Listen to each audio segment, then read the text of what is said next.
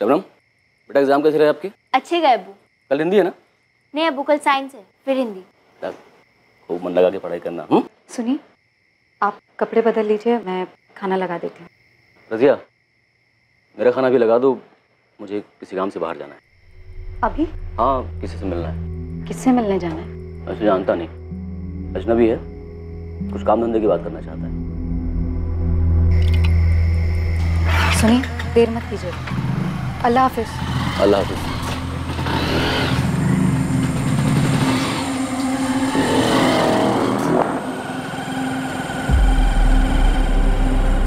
किसी को पता नहीं था कि यह आखिरी बार था जो अफजल अपने घर से निकल रहा था।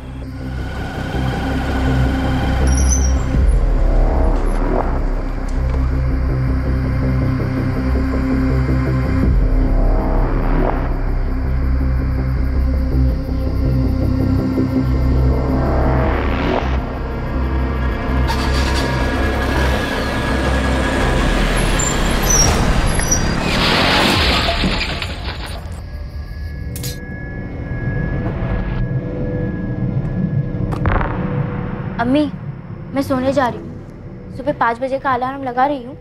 अगर मेरी आँख ना खुले ना तो आप उठा देना।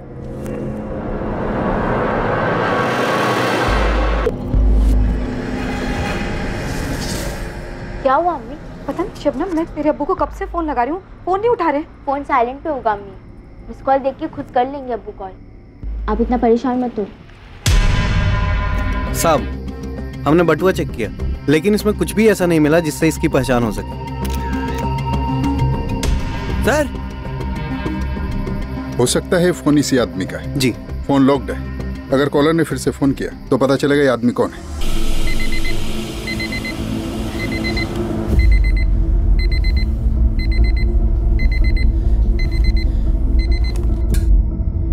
शबनम शबनम उठ। मुँह धो ले पढ़ने बैठ जा।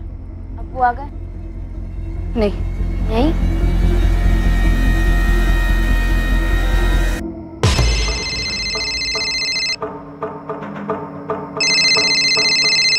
साहब कोई रजिया है?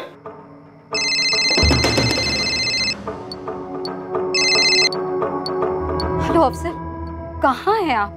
मैं रात से फ़ोन ट्राई कर रही हूँ फ़ोन ही नहीं उठा रहे। मैं पुलिस सब इंस्पेक्टर संतोष बोल रहा हूँ मिलन नगर थाने से। पुलिस? ये ये अफसल कहाँ है? आपके पति का एक्सीडेंट हो गया बस आप हॉस्पिटल आ जाएँ जल्दी। क्या?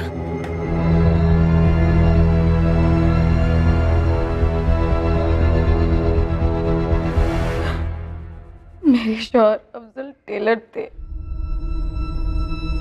अपनी दुकान है उनकी। आपके शोहर जबलपुर बाईपास रोड पर क्या कर रहे थे? मुझे नहीं पता साहब। कल शाम में अफजल घर आए खाना खाया और फिर बाहर चले गए। बस इतना ही कहा कि मैं जानता नहीं। अजनबी है कुछ काम धंधे की बात करना चाहता है। हमने अभी हिट एंड रन का केस रजिस्टर किया है। ये कुछ सामान है उनका जो उनकी बॉडी से मिला।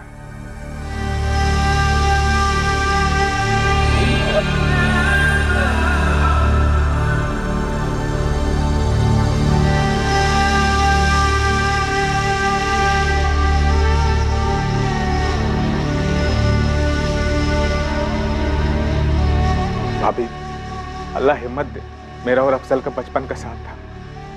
भाभी, आपको कभी भी किसी चीज़ की ज़रूरत हो तो मुझे फ़ोन कीजिए।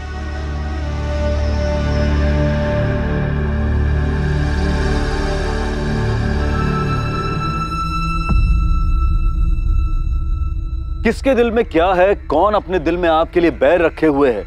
ये कोई नहीं कह सकता। एक रात में एक परिवार उजड़ गया। एक रोड एक्सीडेंट में अफजल शेख की ऑन द स्पॉट मौत हो गई।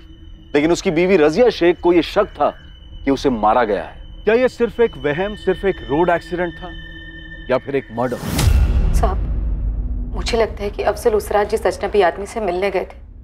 उसने जानबूझकर उन्हें कुचल दिया। लेकिन अभी तो एक्सीडेंट ही लग रहा है। पोस्टमार्टम में कुछ आया नहीं। जहाँ एक्सीडेंट हुआ वहाँ सीसीटीवी नहीं था। पर किसी ने कुछ देखा नहीं कुछ बताया नहीं। आपका कहना है वो अजनबी था। पहली बार मिलना। आपके पति के कॉल रिकॉर्ड्स में भी कुछ नहीं मिला। तो भला अजनबी ऐसा क्यों करेगा? साहब ये आप पता लगाइए। मेरे पति की किसी से कोई दुश्मनी नहीं थी। दुश्मनी नहीं थी तो कोई मर्डर क्यों करेगा? जरा सोचिए इस बारे में। कत्ल ना से। एक्सीडेंट तो है। और मैं चाहती हूँ कि ये चीज़ किसी ने भी किया है उसे कड़ी से कड़ी सजा मिले।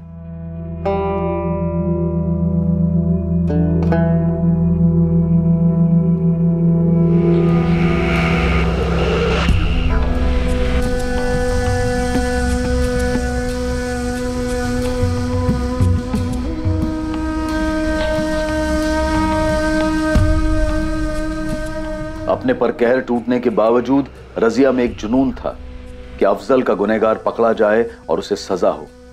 पर पुलिस इन्वेस्टिगेशन टीम मुजरिम के बारे में कुछ भी पता नहीं कर पाई थी। लेकिन रजिया ने हार नहीं मानी। पूरे छह महीने वो पुलिस स्टेशन के चक्कर काटती रही दलीलें करती रही और फिर एक दिन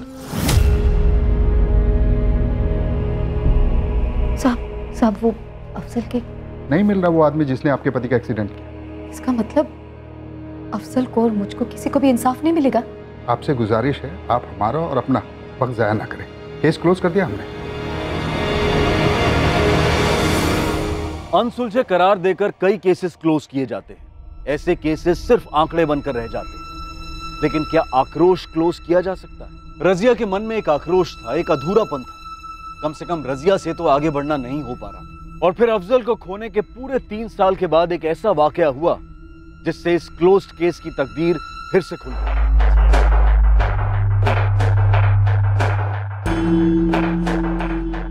ये इन्फॉर्मेशन कितनी सही है? खबरी के कान कभी धोखा नहीं देते साहब। वो बंदा पक्का सुपारी की ही बात कर रहा था। तूने आगे कुछ की?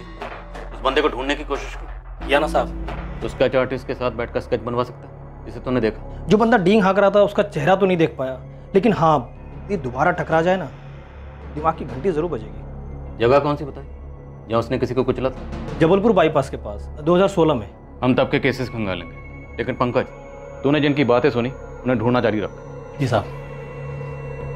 मिश्रा का, कातिल आज़ाद घूम रहा है मतलब केस अनसुल जा रहा होगा और क्लोजर रिपोर्ट फ़ाइल हुई होगी। एक काम करो तुम और आसमा 2016 में जबलपुर बाईपास पर जितने भी एक्सीडेंट केसेस हुए सबकी फ़ाइल मंगवाओ।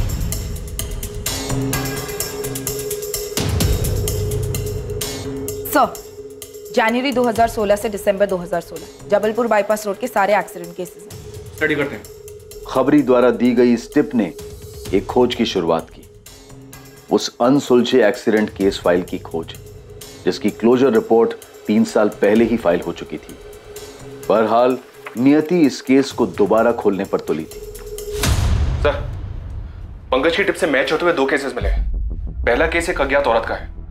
वो जबलपुर बाईपास रोड के पास मरी हुई मिली थी लेकिन उसकी कभी पहचान नहीं हो पाई। दूसरे केस में पहचान हो पाई सर। कोई अफजल शेख था टू व्हीलर पर। हिट एंड रन का केस रजिस्टर्ड हुआ था पर कभी सॉल्व नहीं हुआ। क्लोजर रिपोर्ट फ़ाइल की गई। गुड और एक बात सर। इस अफजल की पत्नी रजिया शेख ने स्टेटमेंट दिया है कि अफजल उस रात को किसी अजनबी से मिलने के लिए जा रहा था। उसने कहा सर कि उसे भी शक है कि एक्सीडेंट का केस नहीं है। किसने मर्डर किया उसके पति का? लगता है वही केस इस रजिया शेख को ट्रेस करो। अरमान रुक टिफ़िन रखने दे। अब्बू लेट हो रहा है। हाँ बेटा आया। चलो। सुनिए आपका भी टिफ़िन रेडी है ले जाए हाँ ठीक है। अच्छा सुनो आ, बाज़ार से कुछ लाना नहीं नहीं कुछ नहीं लाना चलिए। हाँ हाँ आप लोग जाए बाय बाय अम्मी। बाय बेटा।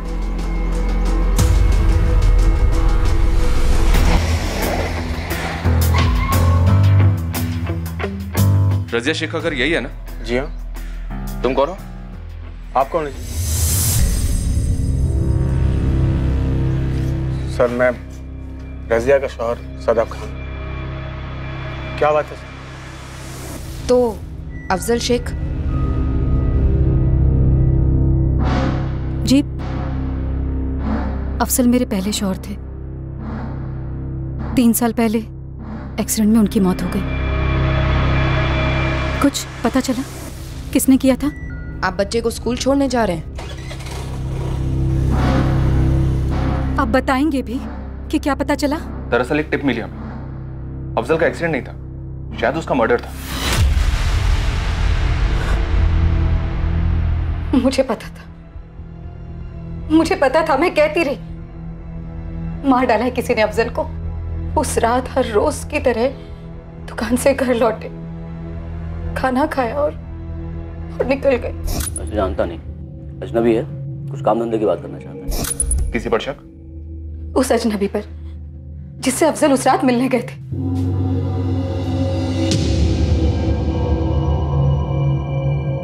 शादाब आप करते क्या? हैं? सर वो मेरी स्टेशनरी की दुकान है। आप दोनों कैसे मिले? हम पड़ोसी थे।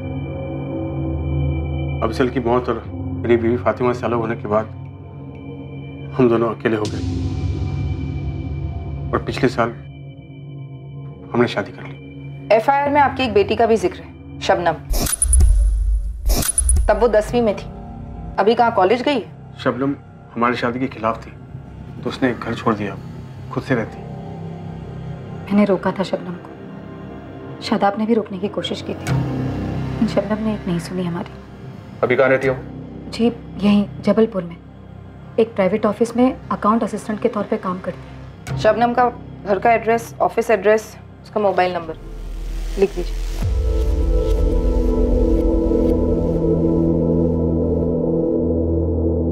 शादाब ये सब क्या है? पता नहीं रज़ी।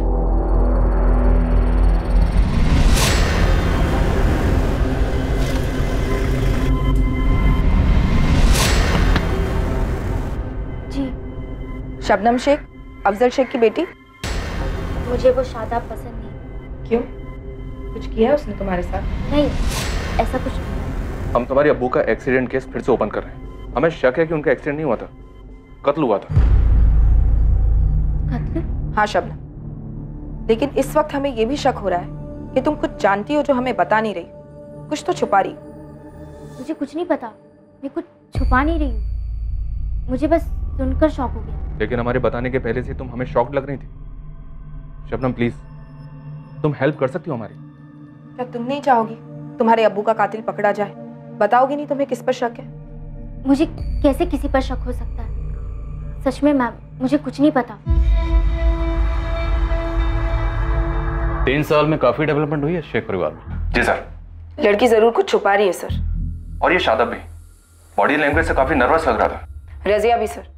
काफ़ी कोशिश करी थी नॉर्मल रहने की लेकिन साफ़ दिख रहा था अंदर कुछ चल रहा है। इस मर्डर का तगड़ा मोटिव दिख रहा है।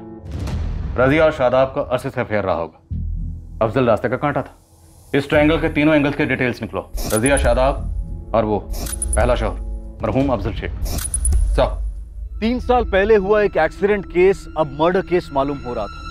जैसा कि उस वक्त रजिया को लग रहा था। लेकिन उस वक्त न्याय की गुहार लगाने वाली पीड़ित की पत्नी इस वक्त संदिग्ध मालूम हो रही थी। अब सवाल यह उठ रहा था कि क्या घर की दीवारों में दीमक काफ़ी पहले से लगी हुई थी? और क्या किसी अपने ने ही अफजल के खिलाफ अपने दिल में बैर पाल रखा था? सर।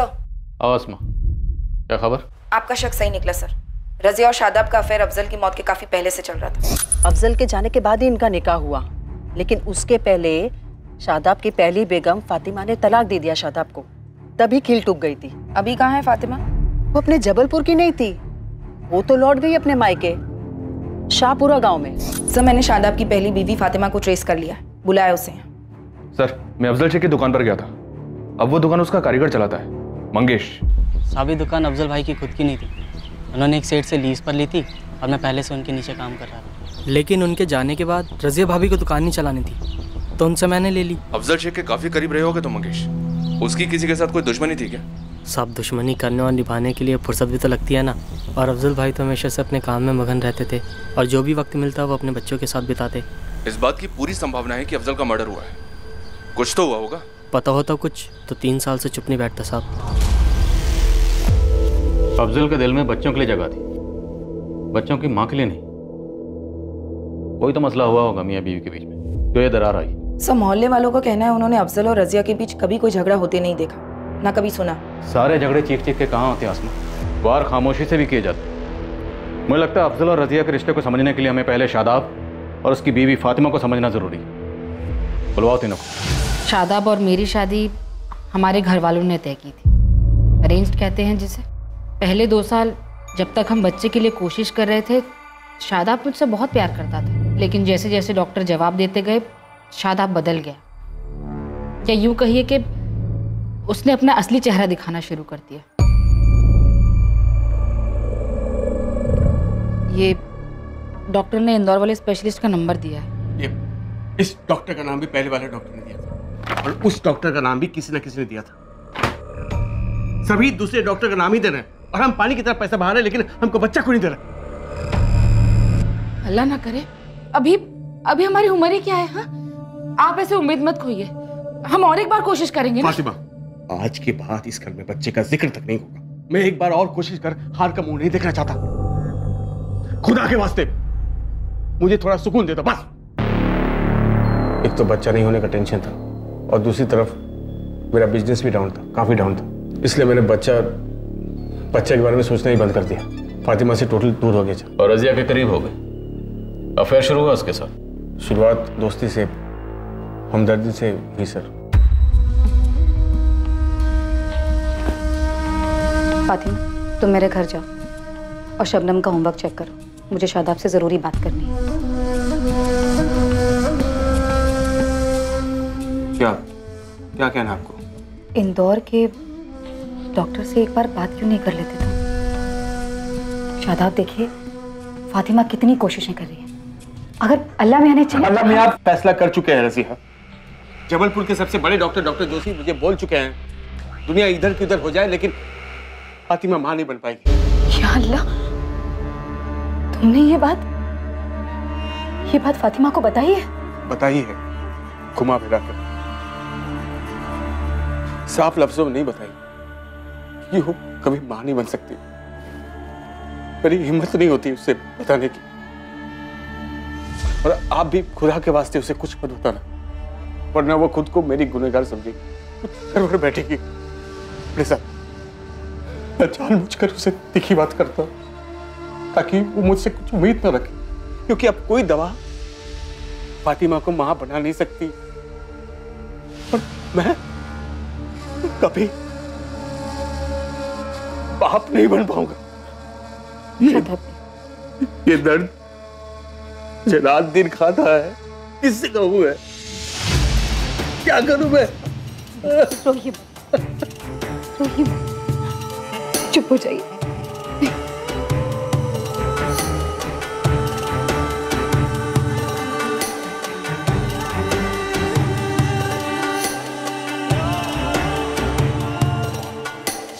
उस दिन हमारे बीच एक एक कड़ी एक डोर बंद गई दोस्ती और हमदर्दी के परे। उसके बाद क्या हुआ? हम मिलने लगे। पहले पहले मोहल्ले के बाहर। और तुम्हें भनक कब लगी? कभी नहीं।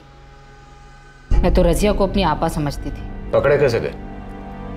अफजल ने हमें रंगे हाथ पकड़ लिया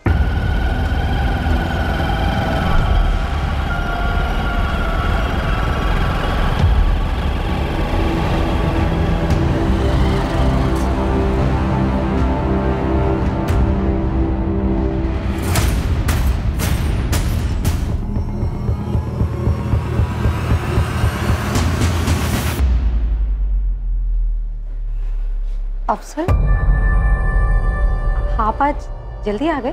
देर हो गई। लेकिन तुम कहाँ से कहाँ पहुँच गए रजिया अफसल आप आप क्या बोल रहे हैं? मेरी कुछ समझ में नहीं आ रही।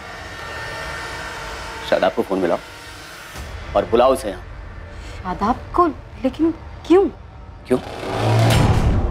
रजिया ये सवाल अपने आप से पूछो क्यों? शायद आपको फ़ोन कर और बुलाओ उसे यहाँ।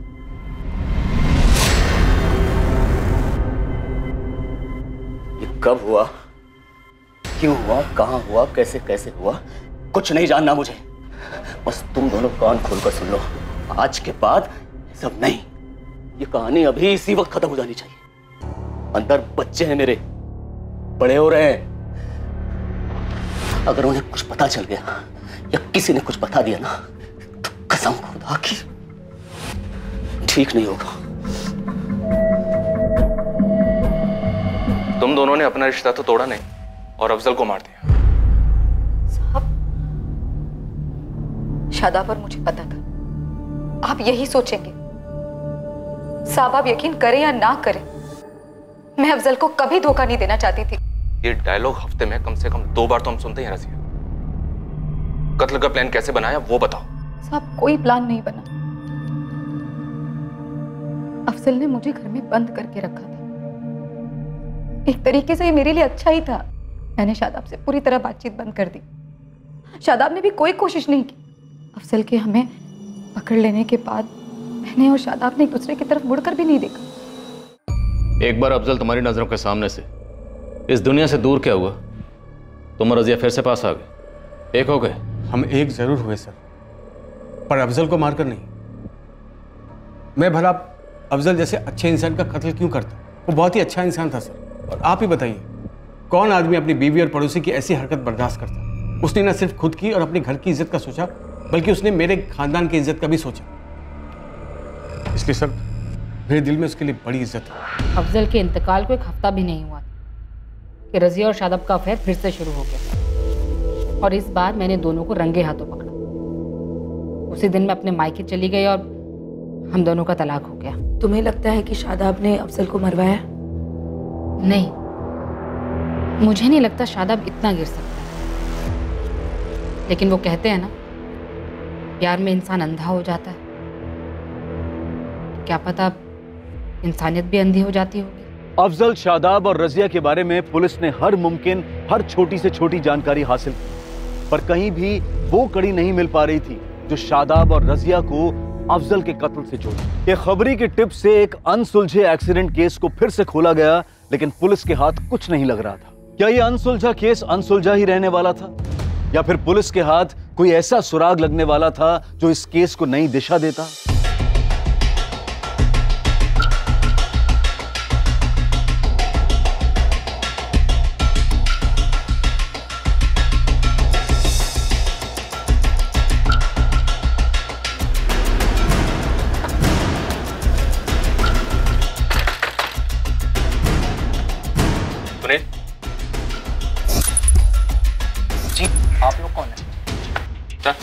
अरे आप लोग कौन है? और मुझे लेकर कहाँ जा रहे हैं? Police station. अरे सर मैंने किया क्या है? चलो अंदर। साहब एक बार तो बताइए कि मैटर क्या है? मैटर मर्डर का जो तीन साल पहले हुआ जबलपुर बाईपास रोड पर। गाड़ी से कुचलकर मार डाला और मारा तुम्हारे दोस्त ने। जो एक महीना पहले मस्तानी बार में डींगे हाँक रहा था। नाम बोल उसका। बोल। खामोश रहेगा तो खाल उधड़ेगी। शुरू हो जा। बोल। बोलता हूँ सर। बोल बोल। नाम बोल उसका। धर्मेंद्र नाम है उसका। खुद की टैक्सी है यहीं बहादुर नगर में रहता है सर। बहादुर नगर? सर बहादुर नगर में तो शादब की स्टेशनरी की दुकान है। धर्मेंद्र को अफजल की सुपारी किसने दी थी? माँ कसम खा के कह रहा हूँ मुझे कुछ नहीं मालूम। धर्मेंद्र ने मुझे आगे कुछ नहीं बताया था।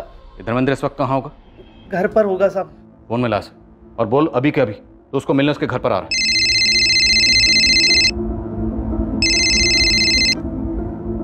हेलो?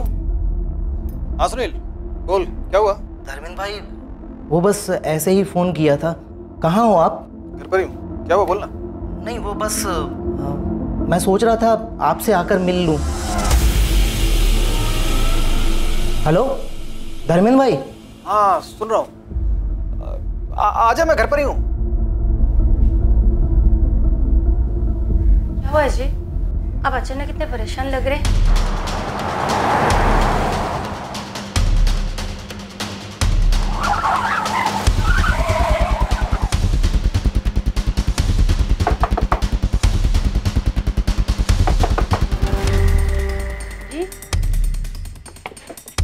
कौन है आप लोग और ऐसे कैसे? क्राइम ब्रांच धर्मेंद्र को बुलाओ तुरंत। दस मिनट हुए वो बाहर गए। बोले रात भर घर नहीं आएँगे। क्या हुआ? क्या किया उन्होंने? मर्डर। क्या? तीन साल पहले उसने एक आदमी का मर्डर किया था। वो अगर तुम्हें फ़ोन करता है तो तुम सीधे सीधे हमें फ़ोन करके बताओगे। समझ में आया? सर धर्मेंद्र अंदर नहीं जैसे वो आपको कांटेक्ट करे इस नंबर पे आप हमें फ़ोन करके बता दीजिए। ये धर्मेंद्र शहर छोड़ने की पूरी कोशिश करेगा। हम उसे भागने नहीं दे सकते। शहर की हर जगह सील करवा दो। जी सर। मैं सारे थाने एयरपोर्ट और बस स्टैंड पर हाई अलर्ट की रिक्वेस्ट भेज देती हूँ। और सर ये धर्मेंद्र का फ़ोटो सर्विलेंस पर डाल दो कॉल निकलवाओ।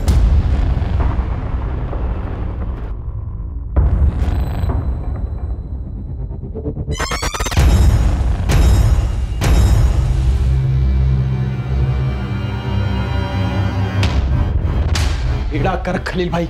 लगता है पुलिस वाले अफजल का केस फिर से खोल रहे हैं। क्या? तुझे कैसे पता चला? अरे पुलिस मुझे अरेस्ट करने के लिए मेरे घर पर आई थी। बाल बाल बचकर भागा हूँ मैं।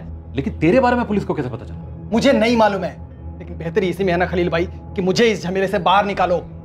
पाँच लाख रुपए मेरे मुँह में ठूसो नहीं तो मेरा मुँह पुलिस वाले के सामने खुल जाएगा। बकवास मत कर। तू ऐसा कुछ भी नहीं करेगा समझे? मैं ऐसा कर सकता हूँ खलील भाई। मेरी सुपारी के पैसों में से ना अभी भी अस्सी हज़ार आप ही के पास है। चार पाँच दिनों के लिए तो अंडरग्राउंड हो तब तक मैं कुछ इंतज़ाम करता हूँ। तीन दिन। मैं फ़ोन करूँगा और पैसे का आप इंतज़ाम करिए और अगर नहीं हुआ ना तो पुलिस वाले के पास जाके मैं सब कुछ बोल दूँगा।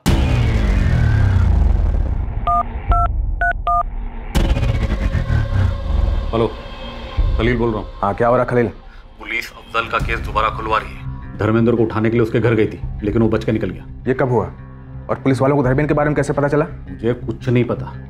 धर्मेंद्र तीन दिन के लिए अंडरग्राउंड होने को तैयार हो गया लेकिन बदले में वो पाँच लाख रुपए मांग रहा है। अगर पैसे नहीं मिले तो पुलिस के सामने जाकर अपना मुँह खोल देगा। पुलिस मुझ तक भी पहुँच सकती है। खलील। पुलिस तुम तक पहुँचने तो पहुँचने दो। तुम्हें पता है ना कि क्या करना है? वो धर्मेंद्र को कहो कि अंडरग्राउंड रहे जब तक उसे कहा ना जाए। बाहर ना निकले समझे?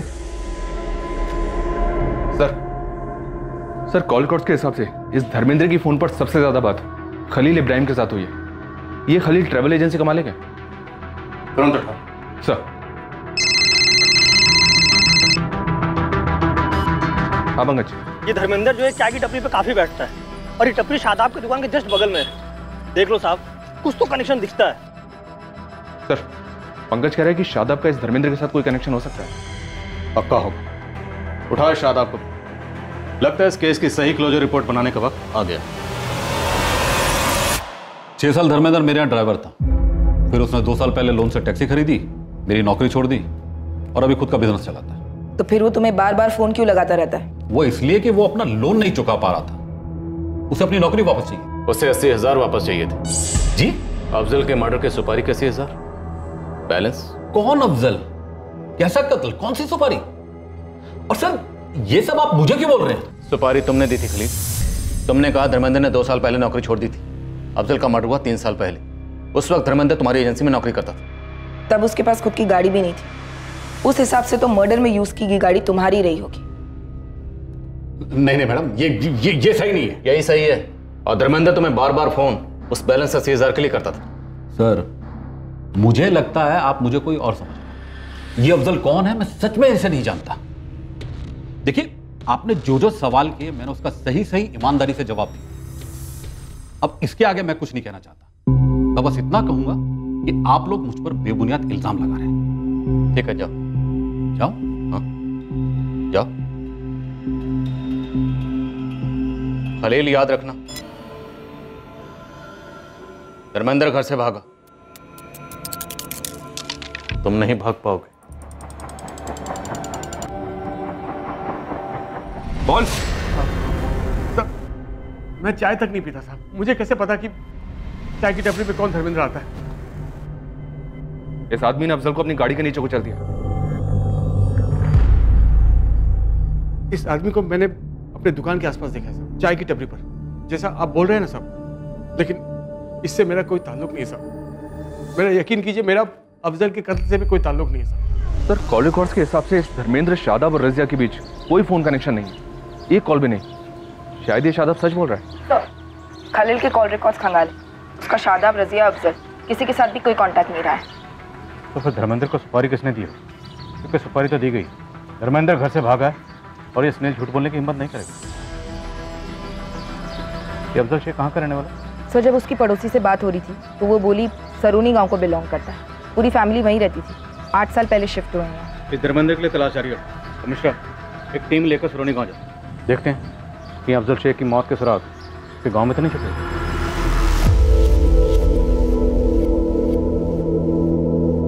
शादा मुझसे रहा नहीं जा रहा। मुझे आपसे कुछ पूछना है। क्या पूछना क्या आपने अफजल को मरवाया है? क्या तुम्हें वाकई में ऐसा लगता है कि अफजल का कत्ल मैंने करना है? मेरी आँखों में आँखें डालकर अपना सवाल पूछो रज़ी। मेरी तरफ़ देखो। क्या ये आँखें खूनी की लगती है? अफजल के खूनी की? मैंने किसी को सुपारी वाली नहीं दी रज़ी। तकदीर का लिखा जो होना था, बस वो होता गया। मेरे बात का यकीन कर।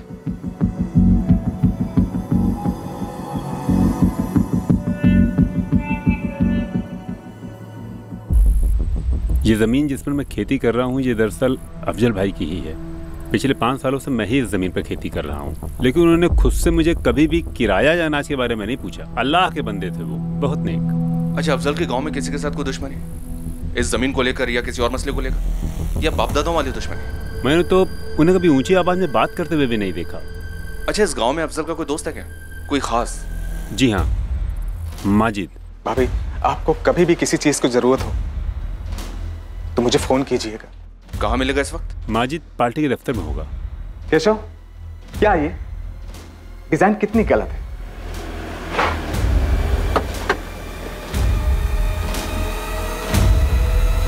सुनिए। जी कहिए। माजिद सिद्दीकी। हाँ मैं ही। हूँ आप कौन? अफजल जैसा दोस्त नहीं था। बहुत याद आती है सर।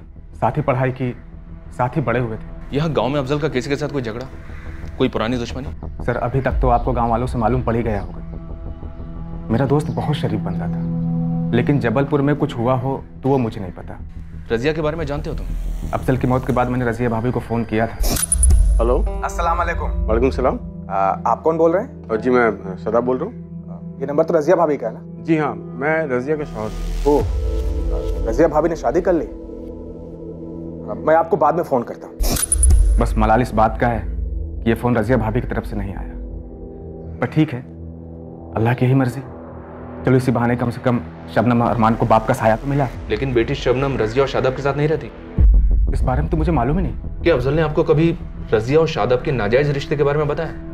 नहीं सर उसने कभी नहीं बताया। और अभी तो आपने कहा कि अफजल आपका जिगरी दोस्त था। हाँ मुझे तो यही लग रहा था कि मेरा एक अच्छा दोस्त है। पर अब मुझे एहसास हो रहा है सर। कि उसने कभी मुझे अपना नहीं माना। पर मेरे लिए वो आज भी दोस्त रहेगा इस केस की इन्वेस्टिगेशन अब भी अपनी मंजिल से काफ़ी दूर थी। हालाँकि पुलिस जानती थी कि अफजल का कत्ल किसने किया था। लेकिन वो ये जानने में अब तक नाकाम रही थी कि अफजल का कातिल आखिर किस शतरंज का मोहरा था। अफजल का कत्ल आखिर क्यों किया गया और इस कत्ल के पीछे की वजह क्या थी? तीन साल पहले आखिर ऐसा क्या हुआ था? क्या पुलिस किसी सुराग तक पहुँचने वाली थी? या फिर कोई सुराग पुलिस तक? शबनम अच्छा किया जो तुम खुद अपना बयान लिखवाने के लिए आई। यकीन मान छोटी सी छोटी जानकारी भी तुम्हारे अब्बू के कातिलों को पकड़ने में हमारी बहुत मदद करेगी बोलो। अब्बू ने अम्मी और शादाब को रंगे हाथों पकड़ा था। कब हुआ?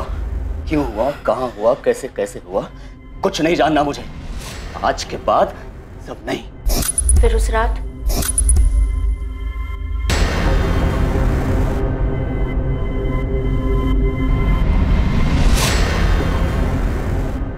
अब्बू को ऐसे रोते हुए मैंने कभी नहीं देखा था। वो इतना प्यार करते थे अम्मी से। और अम्मी ने क्या किया? पहले अफेयर फिर अब्बू के मौत के बाद शादाब से शादी। अम्मी और शादाब को खुश देखा। और उनकी खुशी मुझसे देखी नहीं जाती थी।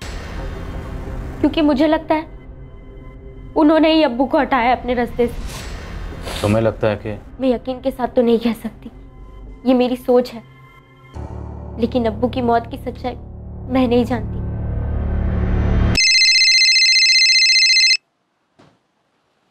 हाँ पंकज बोल। साहब आपका बंदा मिल गया। यहाँ इमाम नगर के एक लॉज में छुप के बैठा है। उस पर नज़र रख। हमारे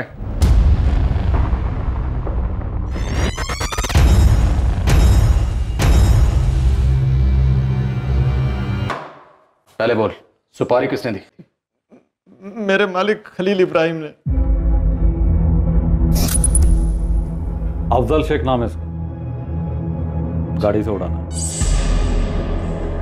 एक्सीडेंट लगना चाहिए। एडवांस बीस हज़ार बाकी के अस्सी हज़ार काम होने के बाद।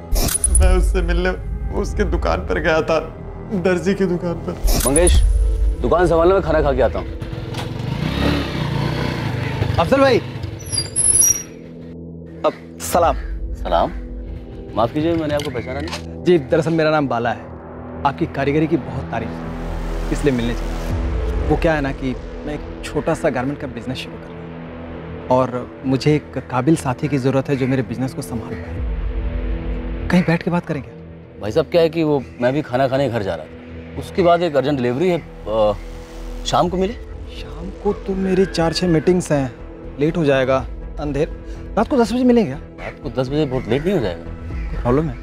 नहीं प्रॉब्लम नहीं है कोई। हाँ तो फिर ठीक है ना। अपना वो जबलपुर बाईपास के पास जो फ़र्स्ट एग्जिट है ना वहीं पर मिलते हैं रात को दस चलिए ठीक है फिर दस बजे मिलते हैं वहीं बाईपास मेरा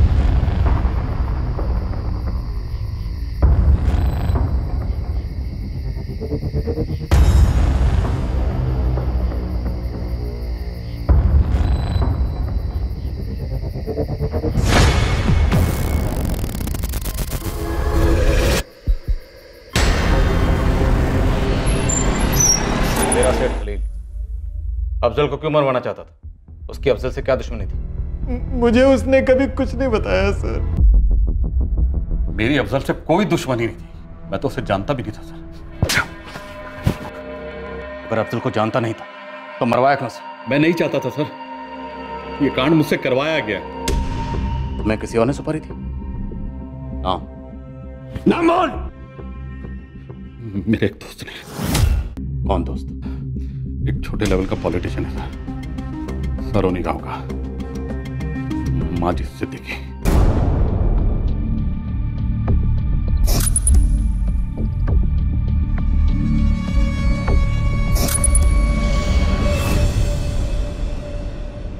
अफजल मेरा सबसे अच्छा दोस्त था। शायद इकलौता। लंगोटिया यार थे, सर। हम सब कुछ साथ में करते थे। हमने गाँव में किराने की दुकान भी खोली। हमारा धंधा चल निकला। अफजल एक दिन बोला कि वो ज़िंदगी में कुछ बड़ा करना चाहता है। तो 2011 में वो जबलपुर के लिए चला गया पार्टनरशिप तोड़ के। बिज़नेस टूटा लेकिन हमारी दोस्ती फिर भी कायम थी सर। गाँव वाले मिसालें दिया करते थे हमारी दोस्ती की।